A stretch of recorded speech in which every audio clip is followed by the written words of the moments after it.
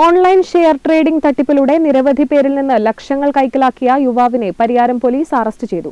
എറണാകുളം കാലടി പൂവപ്പടിയിലെ N S ജബ്ബാറിനെയാണ് arrest ചെയ്തത്. ഓൺലൈൻ ഷെയർ ട്രേഡിംഗ് തട്ടിപ്പിലൂടെ നിരവധി പേരിൽ നിന്ന് ലക്ഷങ്ങൾ കൈക്കലാക്കിയ എറണാകുളം കാലടി പൂവപ്പടിയിലെ N S ജബ്ബാറിനെയാണ് Pariyaram inspector M P Vineeth കുമാറിന്റെ നേതൃത്വത്തിൽ ബുധനാഴ്ച പുലർച്ചെ കാലടിയിൽ വെച്ച് പിടികൂടിയത്. ചെറുവിച്ചേരിയിലെ പുതിയ വീട്ടിൽ സന്തോഷിന്റെ പതിനേഴ് ലക്ഷം രൂപ തട്ടിയെടുത്ത കേസിലാണ് അറസ്റ്റ് ചെയ്തിട്ടുള്ളത്. Professor Robert profit WhatsApp group എന്ന പേരിൽ ഒരു ഗ്രൂപ്പ് ഉണ്ടാക്കുകയും അതിൽ ആളുകളെ ചേർത്ത് വൻ തുകയുടെ ഡിസ്കൗണ്ടോടെ വിവിധ കമ്പനികളുടെ ഷെയർ കൈമാറാമെന്ന് വാഗ്ദാനം ചെയ്താണ് ഇയാൾ തട്ടിപ്പ് നടത്തിയിരുന്നത്.